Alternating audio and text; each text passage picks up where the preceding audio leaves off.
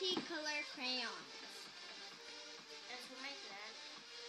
And you'll be needing some crayons. As you can see, I've been already trying to peel this red one.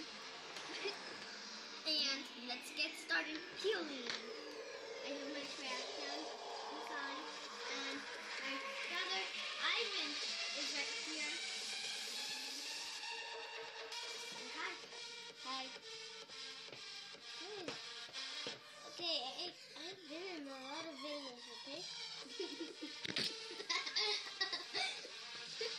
I don't need to say hi.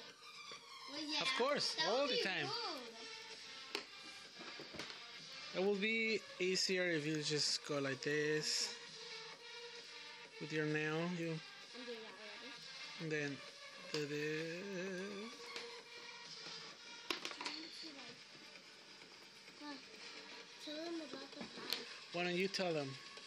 Oh, and you guys, and to make this, you're wondering how do they make this like this? The shape.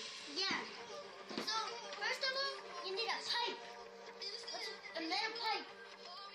First of all, look, like this part. You break it into pieces.